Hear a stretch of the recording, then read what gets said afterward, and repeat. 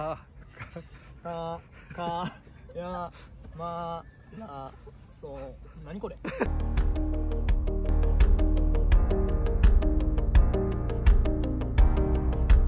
どうもマサランチャンネルマサです。今日は絹田公園にやってきました。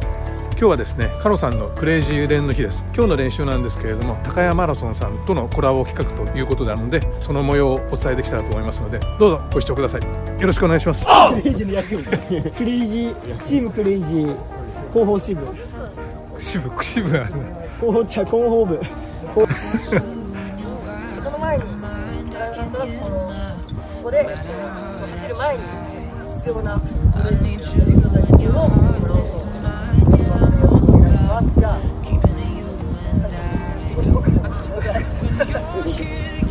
おはようございます今あの風が吹いたりとか少し寒くなりそうですのでちょっと体調面だけ気をつけながらね今日は楽しく続けていければなと思うので皆さんよろしくお願いします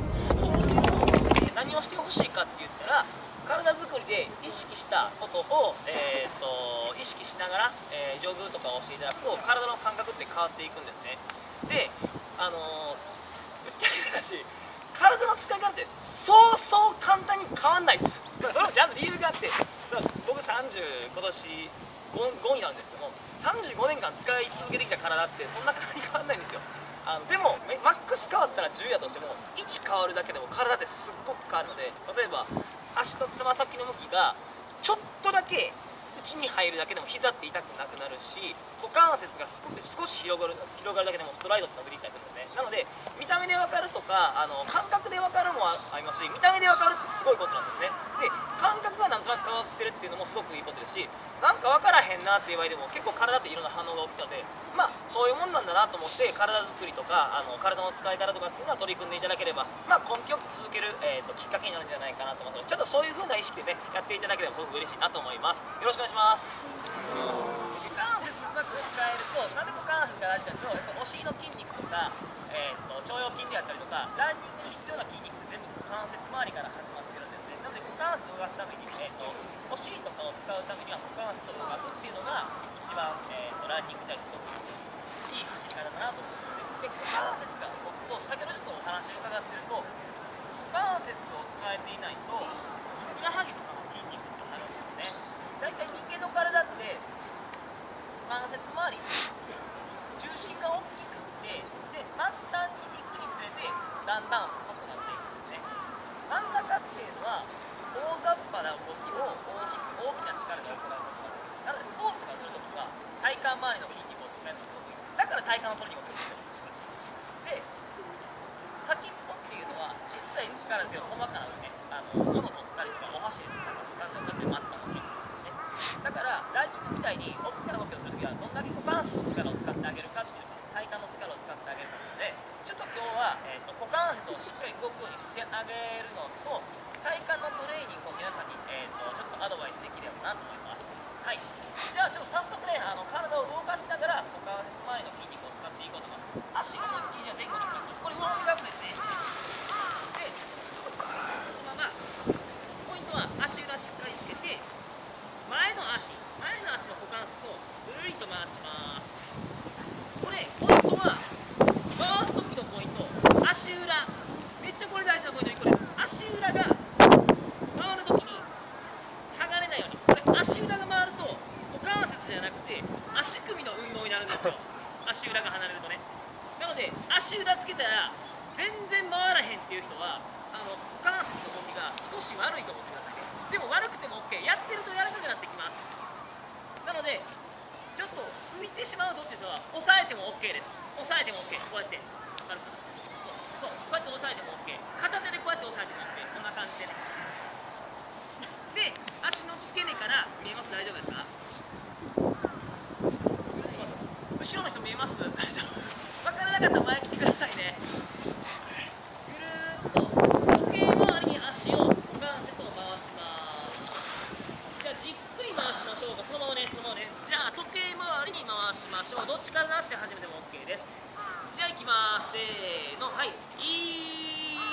2はいラスト1回。10まだだよストップ。次反対回しです。次反対回しねいきます。せーの。いい。ちょっとしんどい OK ですはい OK です。ちょっと回した方の足軽くなるんですね。体硬いとか思ってる方多いんですけど硬いのってうまく使っていないだけだったりするので今みたいにじっくり動いてあげると意外と体って動いてくれます反対なしていきましょう。じゃあ回しますよ。はい。1次上半身で腕をしっかり振る。腕もそうで腕ってもう肩って胸の骨から始まってると思ってます。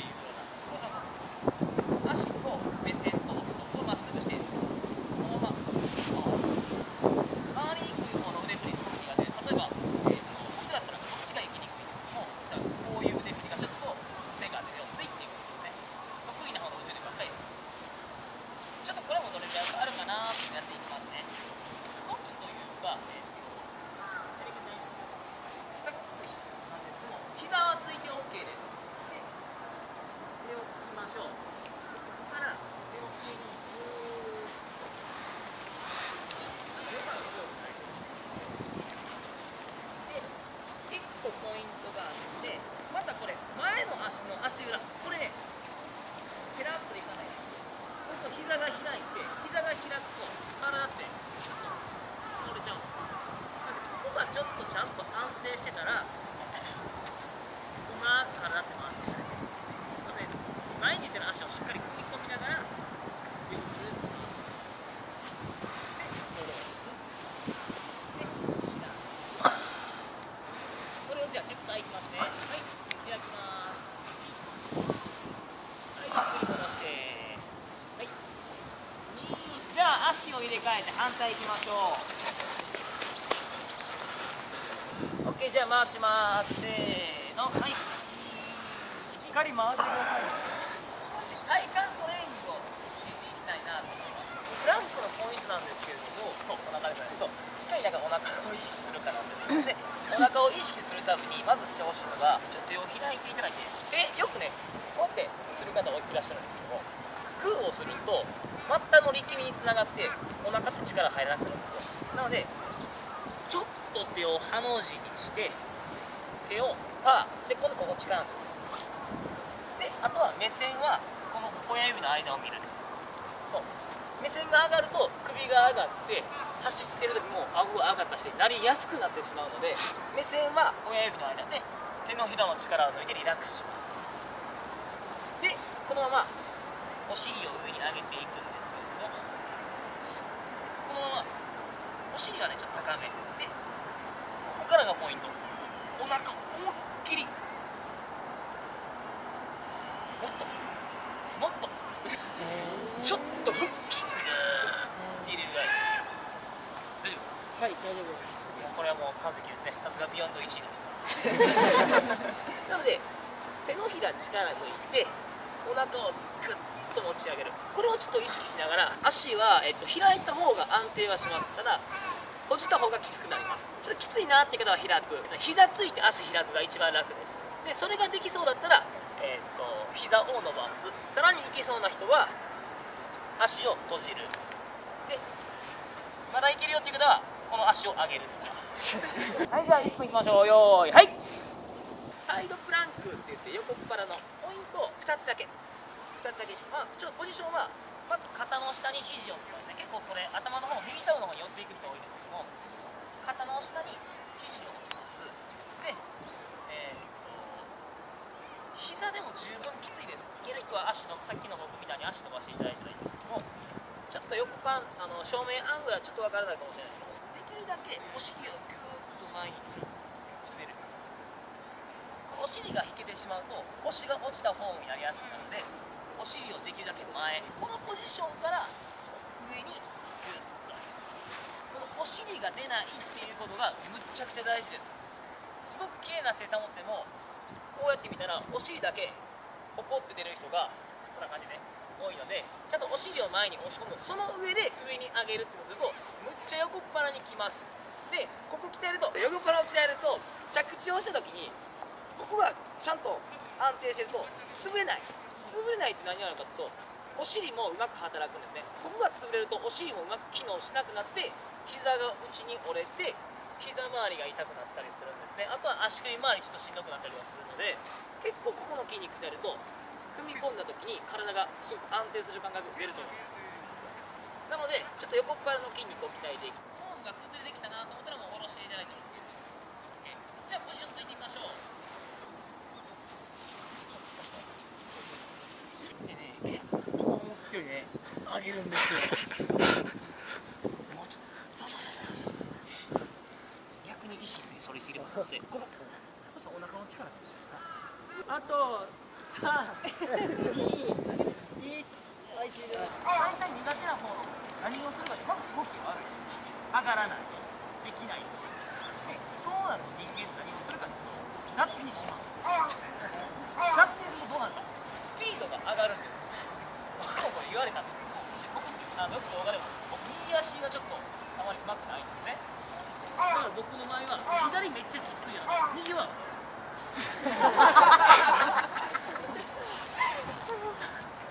あ右足ってたまに言われます。っ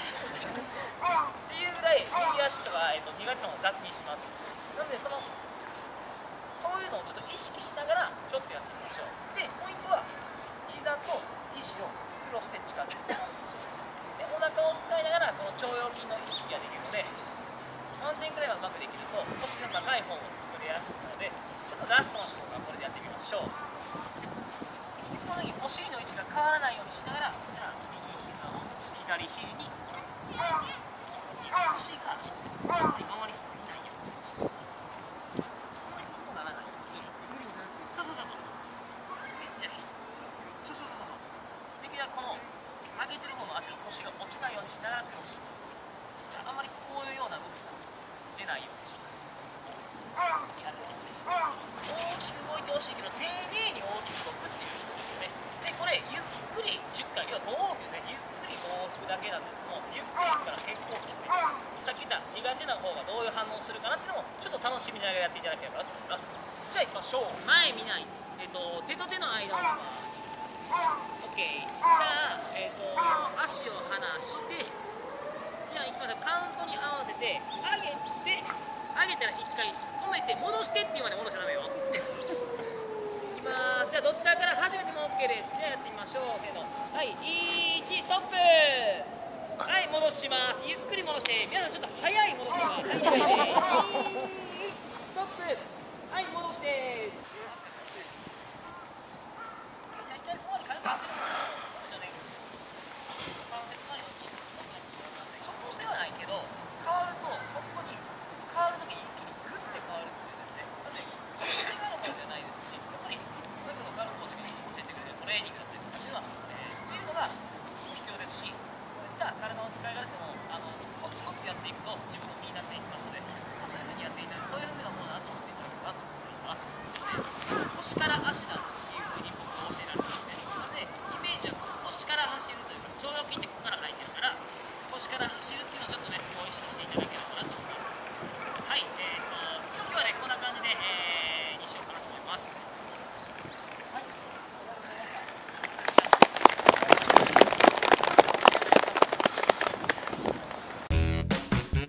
ご視聴誠にありがとうございます。もしよろしければ番組登録といいねをお願いいたします。またお会いしましょう。じゃあね